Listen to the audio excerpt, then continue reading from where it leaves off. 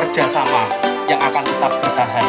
Di Provinsi Jawa Tengah sendiri kami menggunakan tagline uh, Jogo yang kami turunkan di pariwisata